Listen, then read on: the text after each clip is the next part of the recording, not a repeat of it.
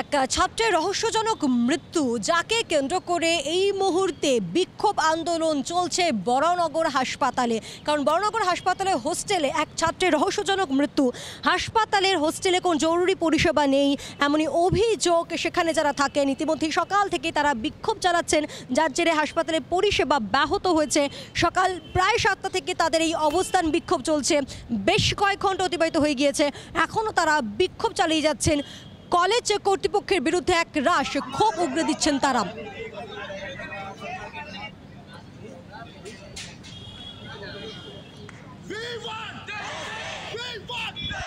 तो हम और मेरा एक दोस्त था वो दोनों नॉक करने लगे फिर खिड़की से लाइट दिए वो खोलने वाला था खिड़की खोल के देखे तो वो हैंगिंग पे था लटका हुआ था। फिर सब सीनियर सबको बुलाएँ दरवाज़ा तोड़े और फिर उसको लेके गए। कोई एंबुलेंस नहीं है। इमरजेंसी वार्ड भी नहीं है कोई उस टाइम हाँ ऑक्सीजन सिलेंडर भी नहीं है। कुछ नहीं है यहाँ पे।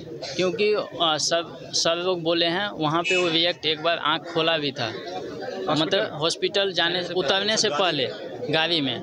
उसके बाद जब उतार के अंदर किया गया तब वो डॉक्टर बोले। अभी क्या चाह रहे हैं? पाँच सालों में पाँच बार छः बार, कितनी बार चेंज होते हैं, हर बार ऑफिशिएटिंग डायरेक्टर क्यों?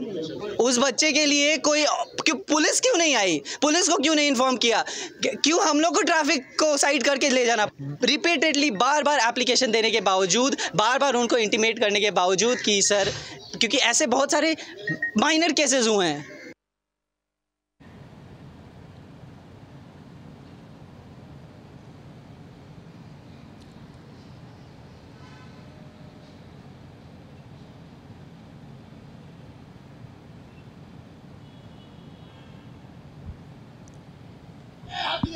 এই মুহূর্তে হাসপাতালের সামনে বিক্ষোভ দেখাচ্ছেন ছাত্ররা এবং তারা স্পষ্টতই জানাচ্ছেন তাদের দাবি, না, মেটা পর্যন্ত তারা তাদের আন্দোলন চালিয়ে যাবেন।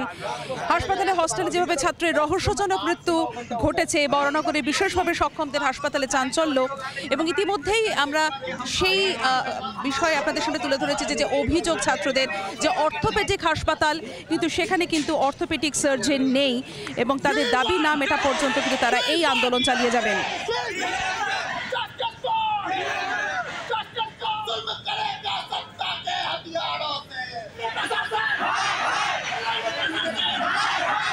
लेकिन यहाँ पर केस हुआ है बारह बारह बजे ठीक है?